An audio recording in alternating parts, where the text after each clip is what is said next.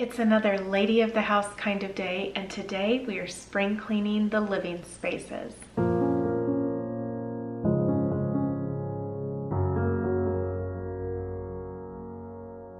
Welcome back ladies in this final day of my spring cleaning series. If you missed any of my videos this week, I hope you will go to my channel and then check out the video section. All of my videos are listed there in the order in which I've released them. I just know that sometimes YouTube does not recommend to you if you are subscribed and if you want my videos to come into your feed. It doesn't always do that. So from time to time, I just hear that people do end up missing the videos that I release. But know that I have released a video now every day of the weekday this week. So Monday through Friday now. And I hope that you enjoy all of them. Okay, let's talk about what I am going to be spring cleaning here in the dining room.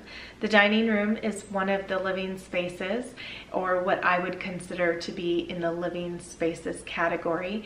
And I am going to be moving the dining room table to sweep under it. I know it's not that big of a deal, but it is a big deal because I don't get to it every single week. So it needs to be done sometime and what better time than when I'm spring cleaning because I have other things that I need to do today as well, which is to take down the curtains in the sitting room right over there and then also in our family room.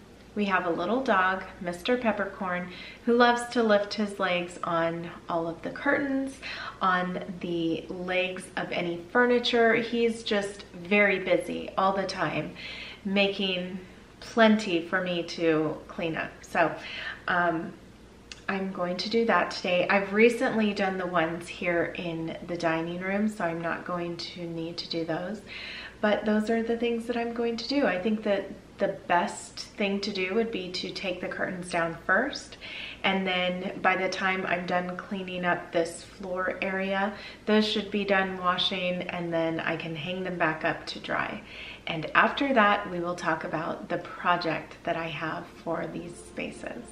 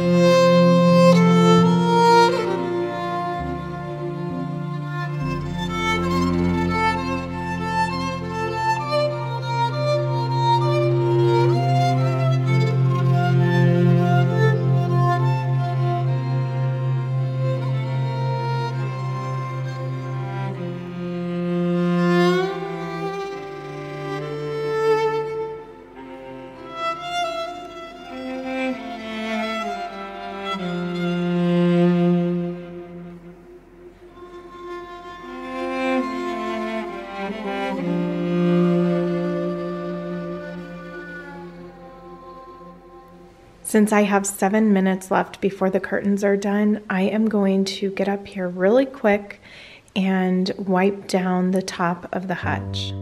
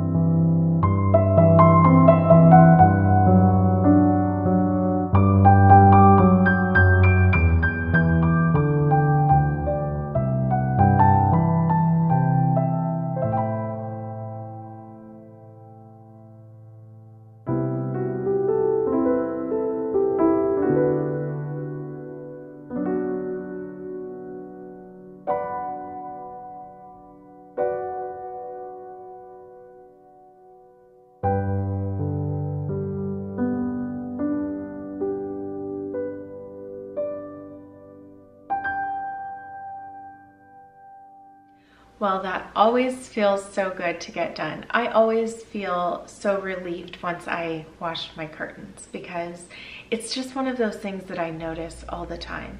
And some would say, why even have them if he's just going to do that? Because I love them. Just like I love my dog. Why have him when he does all of that? I love him. So we keep them. We keep what we love and sometimes it's worth the effort. To me, it's worth the effort because shears especially just soften the light and I just feel a window is not complete without shears over it. So I love my my white shears and also the little pattern that's on there. Um, it's different from this room into that room over there. I think it is. Yes, it is different. Um, but I still like to have some kind of pattern on them. I just think it makes it a little bit more interesting. But um, if there is something that you are going to be cleaning in your living spaces, please let me know that in the comments below. What spring cleaning item do you have on your list? Have you done it already? please let me know that in the comments below. Okay, let's get into the project that I have planned today. I'm sure you could guess because I have been doing little painting projects all week that I am going to be doing some kind of touch up, which I am. I think it's a great time to get out my ultra white paint and to touch up the baseboards, touch up the casings on some of the doors as well as some of the doors because all of these areas take a beating and they just need to be done from time to time. This not only is very relaxing for me, but once it's complete, I feel that it makes such a big impact because if you have those little nicks or, you know, scuffs or anything like that on a wall, usually it's the first thing the eye goes to. At least it does for me. So it just makes me feel like this space is nice and neat and clean. So if that's something you agree with, please let me know and how often you like to do your baseboards, doors, and casings. So now comes my favorite part where I get to turn on my music, relax, and paint.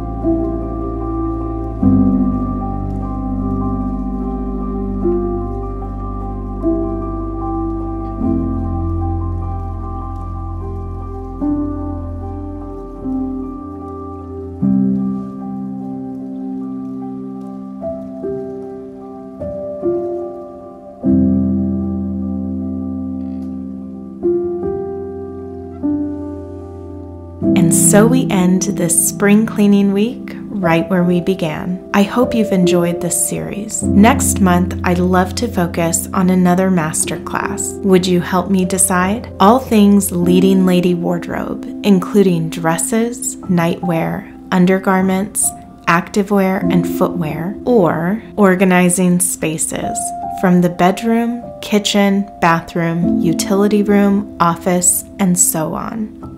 For more inspiration, I hope you will consider joining me over on Patreon. Your support means so much to me and inspires me to keep creating. And until next time, keep making the everyday beautiful.